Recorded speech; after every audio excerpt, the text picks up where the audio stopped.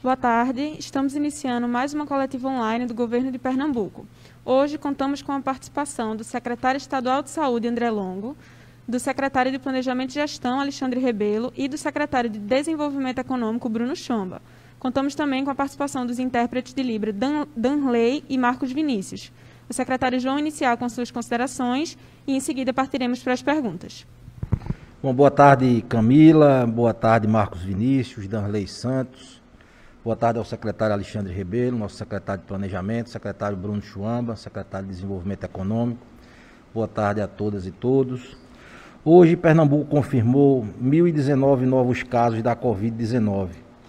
85% dos casos, um total de 858, são enquadrados como casos leves e 161 se enquadram como quadros de síndrome respiratória aguda grave. Assim, chegamos nesta quarta-feira a 47.446 casos da Covid-19 em Pernambuco, sendo 17.566 casos considerados graves e 29.880 enquadrados como casos leves. Os números de hoje ainda trazem o registro de 30.986 pacientes que já se recuperaram da Covid-19 no estado.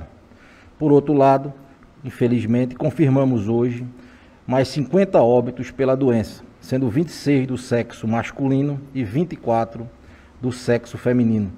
Esses pacientes são de 26 municípios e de outros dois estados, com idades entre 19 e 94 anos, além do registro de um bebê de 3 meses. Os óbitos registrados hoje aconteceram entre 28 de abril e 16 de junho. Com isso, já perdemos 4.009 vidas para a Covid-19 no estado. Hoje, temos a oportunidade de anunciar os próximos passos do nosso plano de convivência com a Covid-19, que continuam ainda, nesse momento, deixando de fora municípios da Mata Sul, da Mata Norte e do Agreste, pelo cenário epidemiológico que lá está colocado. Mais uma vez, ressalto que cada etapa está sendo tomada com a devida cautela e com base nos dados epidemiológicos. Hoje, estes dados apontam, de forma geral no Estado, para a redução das solicitações de internação, diminuição da taxa de ocupação de leitos e também uma tendência de queda nos casos graves, dos óbitos e do controle da taxa de contágio. É importante sempre reforçar que isso não está sendo alcançado ao acaso e nem de forma uniforme em todo o estado, como eu já falei. Esses números, essas tendências de queda não têm se refletido com clareza, é, tanto no Agreste quanto na região da Mata Sul e da Mata Norte. É, o resultado alcançado, de forma geral pelo Estado, ele é fruto do maior esforço sanitário, logístico e de mobilização de recursos humanos da nossa história com mais de 1.620 leitos abertos pelo governo de, de Pernambuco, sendo mais de 700 leitos de UTI. Também é reflexo do grande esforço feito pela população, pelos pernambucanos que entenderam o recado e, quando puderam, ficaram em casa e adotaram o isolamento social mais rígido. Aqui em Pernambuco, pela mobilização de todos, fizemos o melhor isolamento social possível do Brasil. Em vários momentos, Pernambuco esteve entre os melhores estados em termos de prática de isolamento e também a nossa capital, o Recife. Esse comportamento, tenham certeza, muitas vidas foram salvas é, por este comportamento positivo de todos. Nossas primeiras medidas restritivas aconteceram, é bom lembrar, ainda em 13 de março e foram progressivamente reforçadas com o objetivo de reduzir a curva de transmissão da doença. E é graças a este empenho de cada pernambucano que podemos dar início, no dia 8 de junho, a este plano cauteloso de convivência. Mesmo estando entre os três estados com os melhores indicadores para o planejamento dessa volta, como mostram diversos estudos, o nosso plano de retorno é o mais conservador do Brasil. E continuamos sendo extremamente cautelosos e tomando as medidas com extrema segurança, porque não queremos perder o que conquistamos até agora. Temos um grande compromisso de continuar abrindo leitos, esse processo continuará é, e nós precisamos também da luta para manutenção desses avanços, da ajuda de todos. Não é hora de relaxar. Deve-se ficar em casa sempre que for necessário. A sociedade precisa compreender é, este momento e é, nós não queremos dar passos atrás caso haja um retrocesso nos indicadores.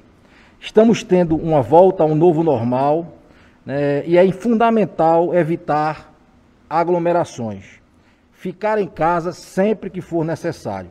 Medidas de higiene social, etiqueta respiratória e uso de máscara de forma correta são medidas que precisam estar incorporadas ao cotidiano de cada um de nós. O nosso comportamento hoje, como a gente sempre tem dito, será determinante para é, o que ocorrerá em relação às nossas curvas de contágio para as próximas semanas e para o nosso plano de convivência continuar avançando. É, passo nesse momento a palavra para o secretário Bruno Chuamba para fazer um comunicado relevante inicial. Boa tarde a todos, boa tarde a todas. Gostaria de cumprimentar os colegas secretários André Longo e Alexandre Rebelo. E dando continuidade à implementação do nosso plano de convivência das atividades econômicas com a Covid-19, que anunciamos no dia 1 de junho, eu gostaria de destacar que, graças à estabilização dos dados de saúde, acompanhados semanalmente no nosso comitê do Gabinete de Combate ao Coronavírus, nós pudemos colocar em implantação esse plano, a primeira e a segunda etapa, a partir do dia 1 de junho e a segunda etapa no dia 8 de junho. Na semana passada, devido às diferenças regionais no comportamento dos dados da curva de contaminação, de óbitos e da demanda do sistema de saúde do Estado, nós fizemos o nosso primeiro recorte por região. Dessa forma, 85 municípios correspondentes às gerências regionais de saúde 3, 4, 5 e 12, que é as regiões do Agreste e Zona da Mata, permaneceram na etapa 2, enquanto o restante do estado avançou desde a última segunda-feira, dia 15, para a etapa 3, com abertura gradual de parte do comércio, salões de beleza e estética, atividades de comércio e locação de veículos, todos obedecendo os novos protocolos de funcionamento sempre nos eixos de distanciamento social, higiene, comunicação e monitoramento. Desde o início, temos promovido o diálogo constante com os setores produtivos para encontrar a melhor forma de implantar o nosso plano gradual de retorno das atividades econômicas, sempre levando em consideração os eixos da saúde e da relevância econômica. Com a avaliação realizada essa semana pelo Comitê de Enfrentamento, no acompanhamento dos dados da, da saúde, nós gostaríamos de anunciar os ajustes de como se dará a implantação para a semana que vem, que começa na próxima segunda-feira, dia 22 de junho.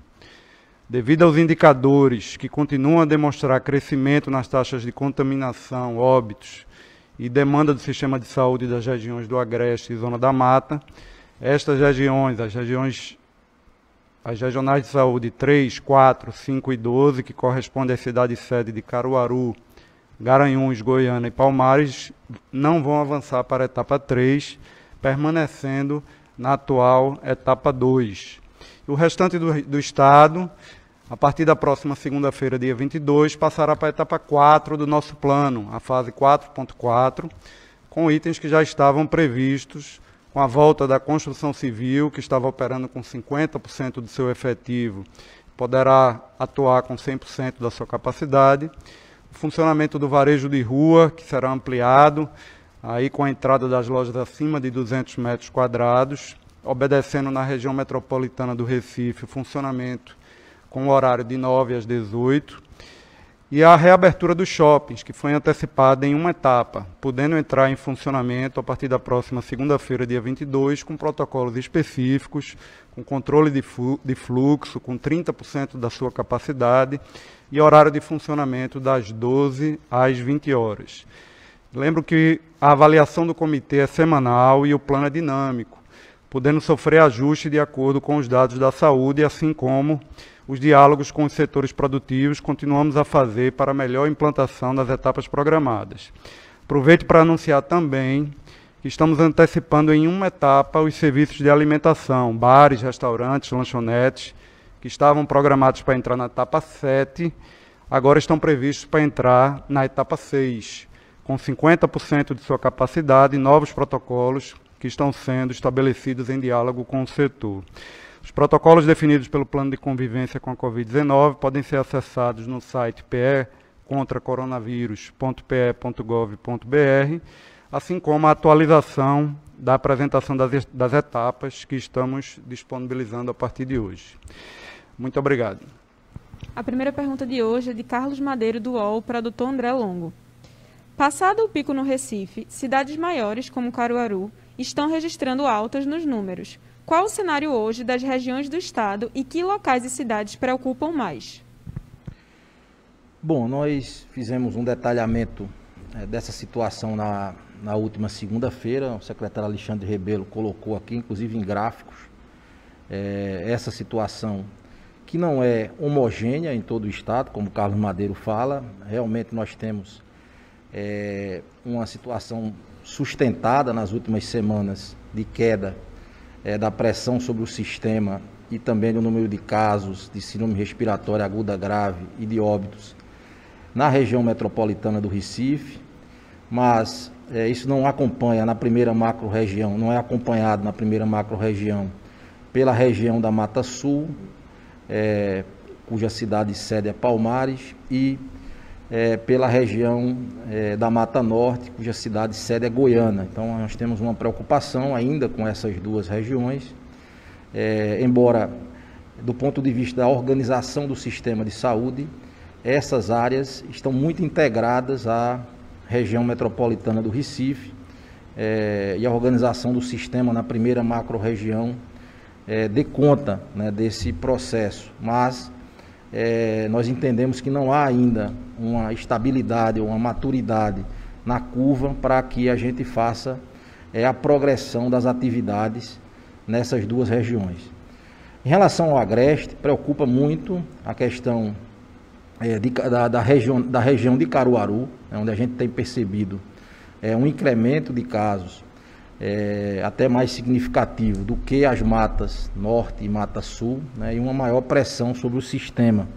Então, nós estamos é, avaliando né, quais medidas é, nós implantaremos em relação a essa região. Né, e né, é, no, no Agreste, esta região, a quarta região, cuja sede é Caruaru, ela até preocupa mais do que a região é, é, de Garanhuns, né, que é a quinta regional de saúde. Mas compõe as duas regiões, a chamada segunda macro-região é, de, de, saúde, que é hoje o foco, talvez, da maior preocupação, né, se a gente tiver que colocar assim, em relação à pandemia. Tanto a terceira macro quanto a quarta macro apresentam números ainda pequenos, números é, é, de estáveis até a última avaliação né, que a gente fez. Então, eles, esses, essas áreas que se encontram estáveis ou que têm poucos casos e aquelas que estão diminuindo, a gente vê maturidade para dar um passo é, adiante é, em relação ao plano de convivência. Destacando que para todos esse, esse processo, como a gente tem procurado dizer, é preciso muita cautela Todos nós estamos tateando, vendo, dando cada passo, o tamanho que esse passo precisa ser dado, né, e sempre avaliando continuamente é, os, os, cenários epidemiológicos, os dados, né, olhando sempre para as semanas, é, como elas vão, quando elas vão sendo fechadas, as semanas epidemiológicas, para que nós tenhamos é, toda a segurança quando a gente dá esse passo é, e fazendo isso sempre de forma faseada, com muito protocolo, né, com fiscalização. Né, as atividades elas estão sendo observadas. Preciso dizer isso. Nós estamos observando o comportamento do comércio, nós estamos observando o comportamento é, das clínicas. Obviamente, nós não somos onipresentes, precisamos, inclusive, do apoio da própria população. A população quer este é, estes serviços abertos, ela também precisa ser agente no sentido de informar sobre eventuais irregularidades que estão sendo praticadas nas atividades. Porque é em nome disso, em nome da segurança, né, sua segurança, e em nome da segurança daquela atividade, da segurança, enfim, de todos nós. Então, nós estaremos é, fiscalizando, através da nossa vigilância sanitária, esse retorno. E também contamos com a população, com os canais, com a própria imprensa que tem feito cobertura para que a gente vá acompanhando esse desenvolver das atividades é, que estão sendo retomadas né, para que se possa é, tomar as decisões, as próximas decisões no momento certo, considerando toda esta equação entre cenário epidemiológico, comportamento né, das atividades que estão sendo retomadas, enfim, o risco e a segurança sendo medido para que, com toda cautela, a gente é, possa estar tá retomando é, o caminho dessa nova normalidade. Adriana Vitor, da TV Jornal, pergunta para o secretário Alexandre Rebelo. O que justifica o anúncio da reabertura de templos religiosos, espaços fechados e que favorecem a transmissão da Covid-19, antes da liberação de parques e praias, espaços abertos e que possibilitam a prática de atividades físicas? É, veja bem, boa tarde a todos, a todas. É, nós começamos há quase 90 dias atrás, um pouco mais do que isso, a acompanhar e tomar todas as medidas necessárias para o enfrentamento à Covid-19. Nesse processo, começamos um trabalho de proibição, é, de fechamento consequente de escolas, de atividades religiosas, de comércio, de serviços, de praias, de parques. É, fizemos todo o processo que ele levava ao isolamento social, chegando ao final do mês de maio com a quarentena rígida aqui na região metropolitana.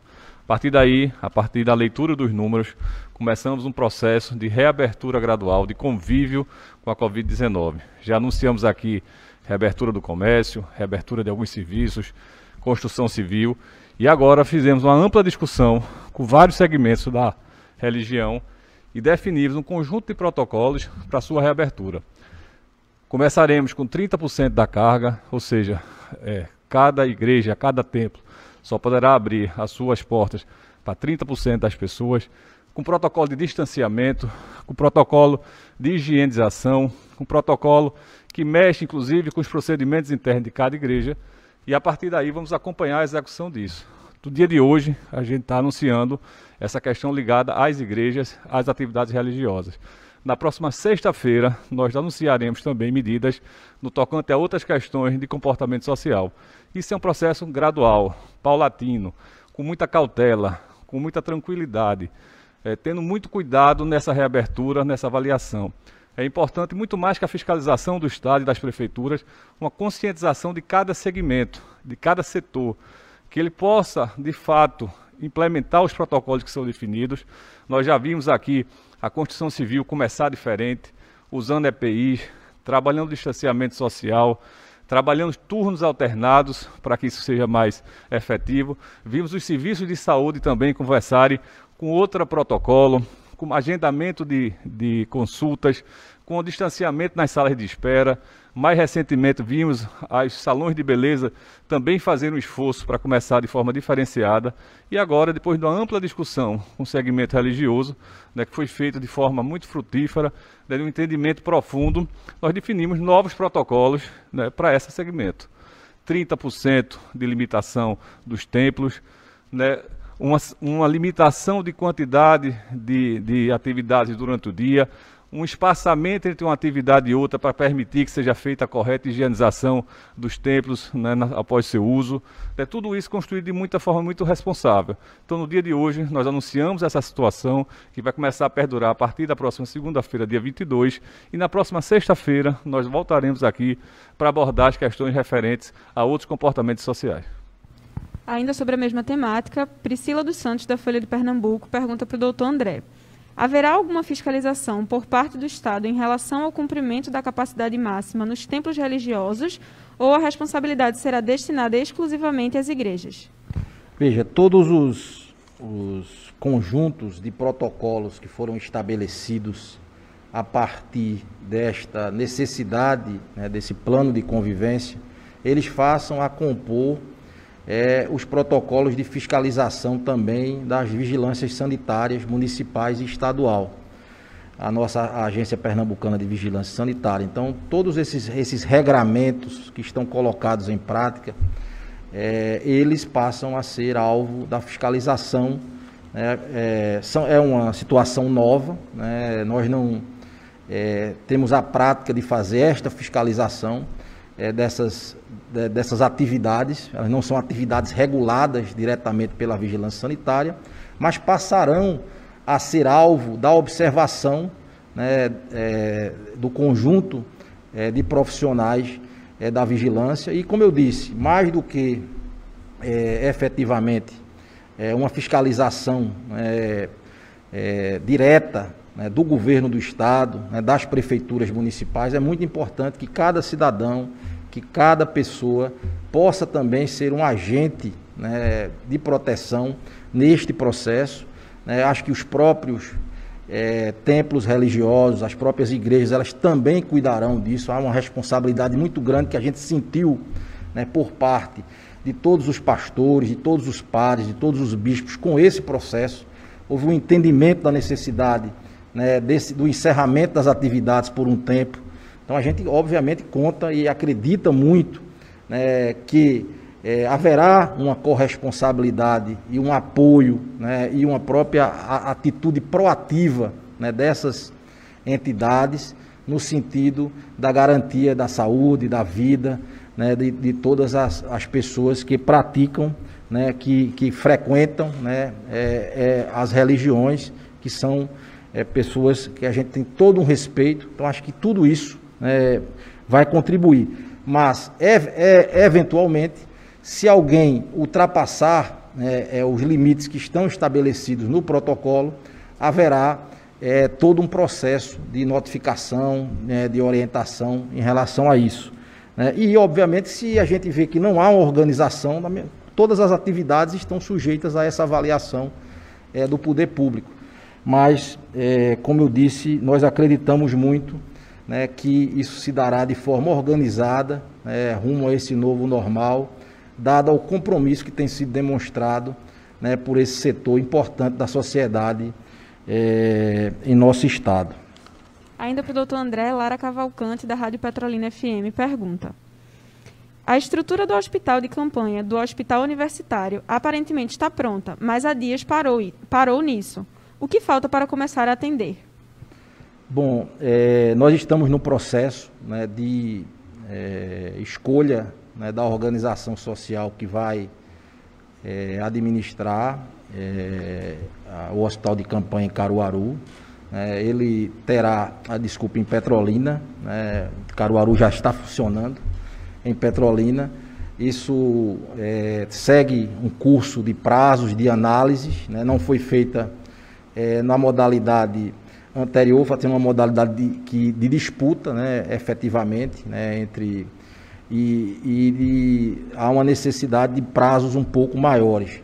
Mas a nossa expectativa é de que até o final do mês a gente tenha é, esta organização social né, para dar início às atividades. É certo que é, a quarta macro-região, lá cuja sede é Petrolina, a gente tem a disponibilidade de leitos hoje, é, tanto na UPAE quanto no próprio hospital de campanha da prefeitura, quanto em hospitais privados que foram contratados lá nesse momento. Então a gente não tem hoje uma pressão sobre o sistema de saúde que justificasse você acelerar esse processo através de dispensa, através de convocação de organização social. Então nós estamos fazendo com os trâmites processuais, legais, é, usuais, né, e é, fora dos tempos de pandemia, para que a gente possa é, chegar a esta organização. Então, o hospital lá de campanha terá 100 leitos, mas mais do que isso, ele vai viabilizar que uma parte hoje do hospital da Univasf, o hospital de campanha ele está junto da Univasf, ele permita com que a Univasf ela cresça na sua assistência em terapia intensiva e utilize esse hospital como retaguarda esse hospital de campanha. Então hoje né, nós estamos realmente nos preparativos para é, que essa unidade ela possa começar é, e a nossa expectativa é que comece no mês de julho né, para é, dar essa retaguarda ao hospital de urgências e trauma lá de Petrolina. Fábio Calado, da TV Clube, pergunta para o secretário Alexandre Rebelo. Mesmo com a retomada gradual do comércio, fiscalização e o aumento da frota de ônibus, ainda é possível registrar vários ônibus lotados, desrespeitando o decreto. O governo de Pernambuco tem algum planejamento para que essa solução seja resolvida? É, desde o início da, desse processo de pandemia, o transporte público sempre foi um grande desafio, não só de Pernambuco, mas como todo o país. Né? O transporte público normalmente ele acumula pessoas e distribui pessoas, e isso vem de encontro à situação necessária né, e desejada nesse processo de afastamento e de isolamento social. Desde o primeiro momento, nós identificamos isso e colocamos para funcionar um novo protocolo. Protocolo que, primeiro, apontava uma questão de higienização, higienização frequente dos ônibus, é, colocação de máscaras para todos os profissionais que trabalham é, com esse transporte público e também dos usuários. É, construímos em diversos terminais pias para que as pessoas pudessem fazer a higienização das mãos. É, aumentamos o número de fiscais e de policiamento para tentar e de fato organizar a fila né, nos terminais de integração né, e, e também colocamos esse protocolo de redução de pessoas dentro do ônibus, inclusive com fiscalização e multa e autuação de várias empresas por descumprimento dessas normas do decreto. À medida que vai abrindo a situação do comércio e ao retorno às atividades econômicas, é natural que isso também vá ampliando a quantidade de pessoas que andam nesses ônibus, né, andam desses transporte público é, aqui na região metropolitana. E nós vimos também agora ampliando a frota, né, com, à medida que vai ampliando a quantidade de pessoas que vão andando, também colocando mais ônibus, né, juntamente com as empresas, para que isso seja melhor atendido. Mas mais importante de tudo isso, né, além de todo esse esforço de ampliação do nosso, nosso atendimento, de higienização, de um tratamento diferenciado nos terminais, é, também é um esforço que foi feito nessa retomada das atividades econômicas de permitir aberturas das atividades econômicas em momentos e em horários diferenciados.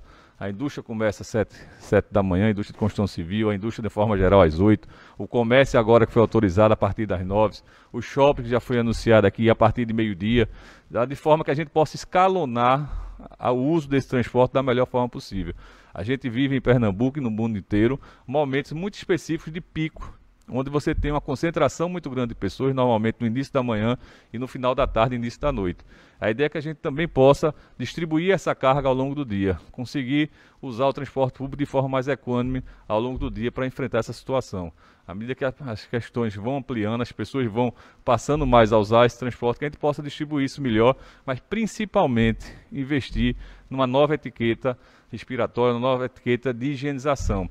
Cada dia mais surgem pesquisas no mundo inteiro mostrando a importância da máscara, do uso adequado da máscara em, em todo o tempo né, que você for possível, fora de casa, usar essa máscara. Então a gente aposta nisso. Foram mais de 30 mil máscaras distribuídas gratuitamente nos terminais. Nós vamos continuar com esse esforço, tá certo? Dar a máscara a toda a população de Pernambuco para também ajudar nesse processo de contenção da doença. Vou juntar as três próximas perguntas que são para o secretário Bruno Chomba. Primeiro, Patrícia Raposo, da CBN, pergunta: Qual a previsão para a retomada dos serviços de alimentação, já que muitos trabalhadores voltaram à ativa e precisam se alimentar na rua? Ana Maria Nascimento, do Diário de Pernambuco, também pergunta: Quais são os planos para a retomada do turismo em Pernambuco? E, por fim, Elton Ponce, do JC Online, pergunta: Alguma previsão de abertura de novas atividades econômicas para a próxima semana, como lojas maiores do comércio varejista, shopping center e bares e restaurantes?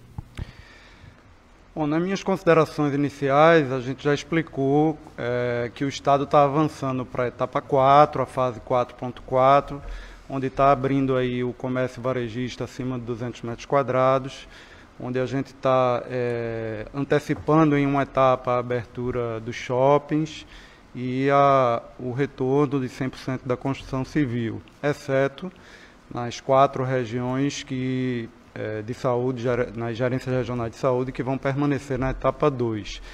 É, assim como a questão dos serviços de alimentação, que a gente está antecipando da etapa 7 para a etapa 6 e estamos discutindo os protocolos. Agora, é importante é, que as pessoas entendam que esse novo normal, como a gente tem chamado, precisa mudar o hábito da população tem coisas que a gente não tem condições ainda de fazer, de permitir, por causa do risco à saúde. Por isso que a gente está voltando gradualmente às atividades econômicas, mas a gente não pode ainda fazer toda a liberação, especialmente a questão da alimentação. Então, a, os serviços de alimentação estão permitidos para funcionamento com coleta e delivery, o que dá a possibilidade de a pessoa estar tá é, ou levando de casa, ou fazendo a sua encomenda, pegando ou recebendo no, na atividade que ele está produzindo. E a gente vai avaliando semanalmente para que a gente possa, gradualmente, fazendo a implantação. E se tudo der certo, na etapa 6, quando chegar no momento adequado, é, a, o serviço de restaurante, bares e lanchonetes vão começar a ser flexibilizados com novos protocolos, obedecendo sempre os eixos de distanciamento social, higiene e comunicação e monitoramento. Em relação ao turismo, é importante a gente destacar que em nenhum momento ficou, é, foi fechada aqui a questão de hotéis, de pousada. A gente sabe que o distanciamento social ele, ele provoca é, um, um, um um problema de a gente atrair turistas e as próprias pessoas têm um comportamento de nesse momento estar tá ficando em casa e não está querendo se deslocar. O que a gente está fazendo o esforço dentro do nosso plano é que a gente possa estar tá abrindo gradualmente as atividades, acompanhando os dados de saúde e, fica, e o diálogo constante com o setor de turismo. Nosso secretário Rodrigo Novaes, é, junto com a Secretaria de Desenvolvimento Econômico, nós temos mantido esse diálogo bastante aberto e o secretário Alexandre Rebelo já comentou aqui que na sexta-feira nós devemos estar fazendo alguns pronunciamentos em relação ao comportamento convívio social, que pode estar ajudando também nessa flexibilização e na ativação é, gradual e da volta da, da atração do setor turístico aqui para Pernambuco. Isse Falcão, do portal Folha PE, pergunta para o doutor André. A OMS comemorou o avanço científico com a dexametasona.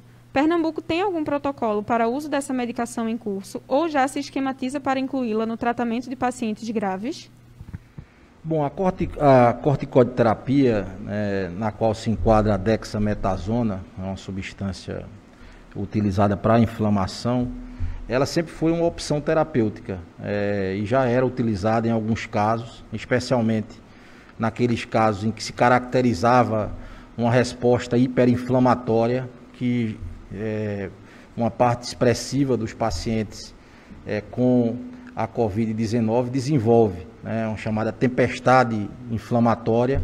Isso é, já havia relatos de, melhor, de melhora com é, o uso de, de corticoide-terapia, entre eles a dexametasona. Esse, esse relato da OMS é, esse relato, esses estudos e esse entendimento da OMS mostrando uma redução da mortalidade é, de um quinto, né, em torno de 20%, é, para aqueles pacientes que requerem oxigênio terapia e de até um terço para aqueles pacientes que requerem assistência ventilatória, ele reforça né, essa impressão que já se tinha na, no manejo clínico é, desses pacientes com uma maior resposta inflamatória e sim será alvo de alteração, como a gente tem feito sempre que há é, alguma nova evidência científica robusta, né, nós atualizamos o nosso protocolo. A gente tem sempre dito aqui que é extremamente dinâmica a, a Covid-19, nós estamos todos aprendendo né, no, no seu manejo clínico e toda vez que você tem evidência científica robusta, no sentido de que uma droga ela traz uma melhoria quando utilizada num determinado espectro de doentes, a gente tem a obrigação de colocá-la em prática em nossos protocolos e isso será feito. Na verdade, já foi startado desde, desde o anúncio, né, desde o conhecimento que tivemos disso e é, o nosso protocolo ele será atualizado é, em relação à dexametasona e de, desde logo essa é uma medicação extremamente disponível, de custo muito barato é, e que tem disponível na rede estadual de saúde né, para utilização e os médicos, obviamente, já estão todos atentos a esses casos para usar. É, preciso dizer, né, não é para não é, é para usar no momento certo, né, e o médico é quem deve fazer é, é, a prescrição, como, como em todos os casos é assim que deve ser. Né, mas só reforçando, porque toda vez que se anuncia uma medicação como essa, é, e a gente já viu em outras situações uma corrida para as farmácias para adquirir é, determinada medicação para ter em casa tal. Isso não é recomendável. tá certo? Porque você acaba gerando um desabastecimento para as pessoas que precisam efetivamente naquele momento. Então, a gente faz um reforço, mais uma vez, para que não haja esse tipo de comportamento né, em relação às farmácias, para que a gente é, deixe a medicação para quem efetivamente precisa é, dentro do curso da Covid-19 em nosso estado. A última pergunta de hoje é de Emília Lucena, da Rádio Folha, para o doutor André. No início dessas coletivas de imprensa, quando questionado sobre o uso obrigatório de máscaras, as respostas geralmente eram de encontro à obrigação. Hoje, parece que o equipamento é a salvação da lavoura. Se o Estado tivesse adotado logo no início da pandemia, o número de contágios não seria menor? Veja, a questão da máscara é mais um é, dessas situações em que você foi tendo uma evolução né, né, da, das orientações. Inicialmente, havia uma preocupação muito grande é, em relação a, a, a, máscaras de proteção, porque havia uma falta né, generalizada, inclusive para os profissionais de saúde. E num primeiro momento a OMS, é, até recentemente, recomendava apenas para os profissionais de saúde e para é, pacientes que estavam com suspeita ou em curso né, é, da Covid-19. Ao longo do tempo foi se vendo uma é, evidências cada vez maiores da é, proteção que se oferecia em relação à máscara para os pacientes da Covid-19. Pernambuco, tão logo teve essas evidências mais robustas, né, passou a colocar como uma condição obrigatória.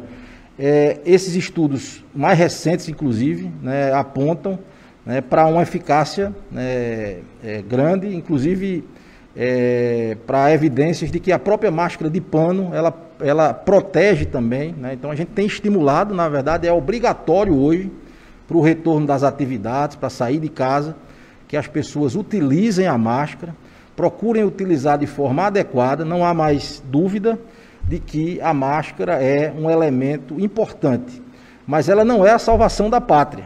Preciso deixar bem claro também.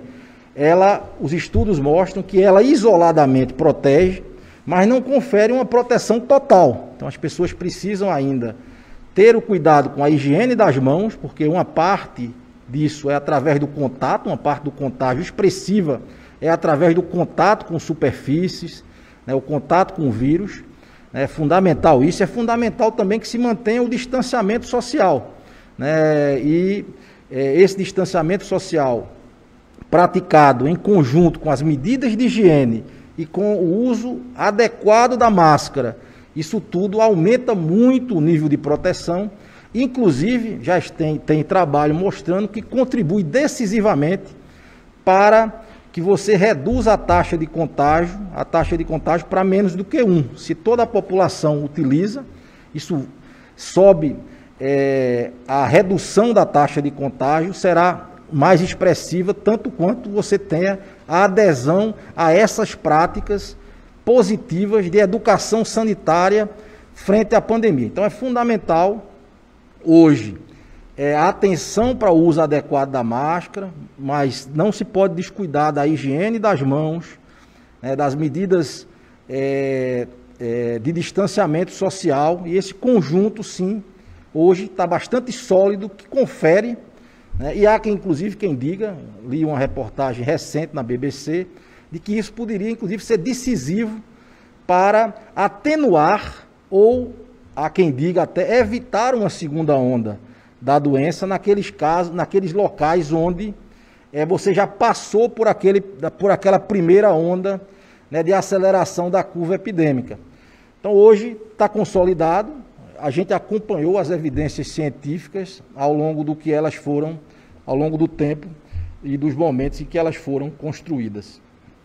Encerramos mais uma coletiva online do governo de Pernambuco. A entrevista vai estar disponível completa no YouTube oficial do governo. Obrigada, boa tarde.